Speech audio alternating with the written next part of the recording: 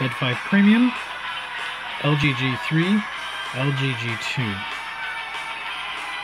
Kind of hard to really see the difference, but